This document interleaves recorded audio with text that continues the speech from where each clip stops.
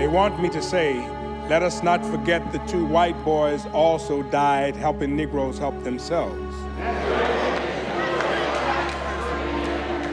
They want me to say, we mourn with the mothers of these two white boys.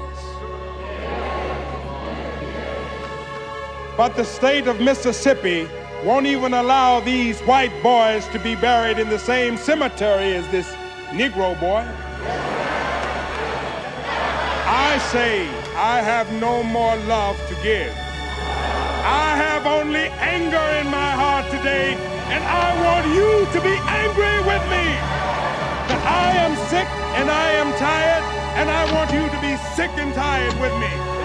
I, I, I am sick and tired of going to the funerals of black men who have been murdered by white men.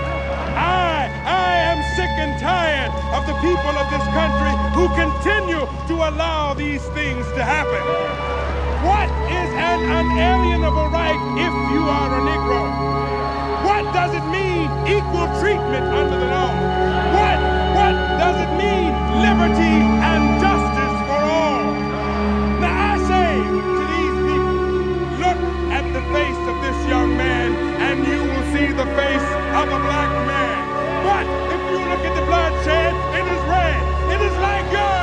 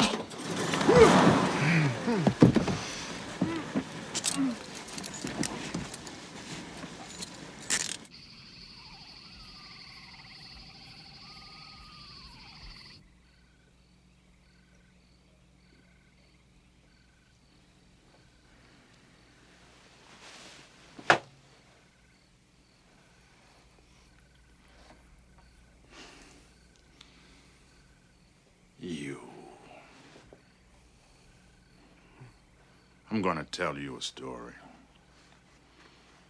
Young kid named Homer Wilkes lives about 30 miles north of here.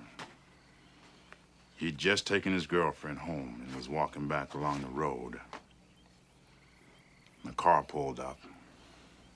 Three white boys took him for a ride. Now, he hadn't done anything except be a Negro. And they took him to a shack. Shack like, like this one. And they took out a razor blade. Regular old razor blade like this one. And they pulled down his pants. They spread his legs. And they sliced off his scrotum. Put it in a coffee cup.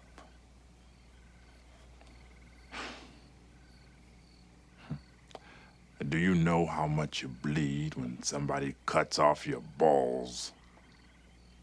Huh? They found Homer, they said he looked like he'd been dipped in blood up to his waist. He was barely alive when they got him to the hospital, and he can hardly walk now.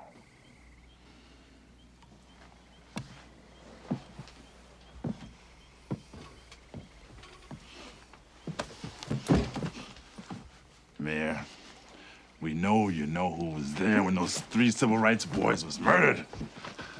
We know you know who pulled the trigger. Is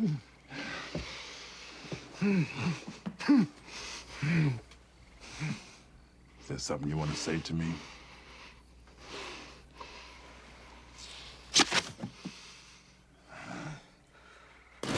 Okay.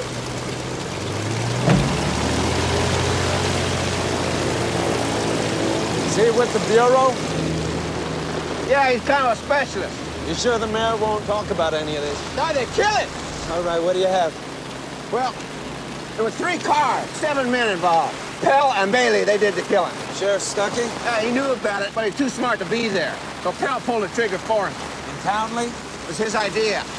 Grand Dragons, they don't get their hands dirty. The whole thing, huh? bullet by bullet.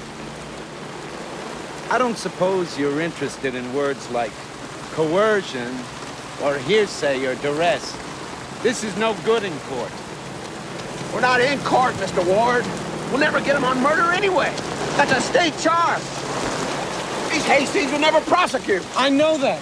Well, we've got to get him in federal court. Violation of civil rights. Just don't lose sight of whose rights you're violating. Don't put me on your perch, Mr. Ward. Don't drag me into your gutter, Mr. Anderson. These people crawled out of a sewer, Mr. Ward. Now maybe the gutter's where we should be.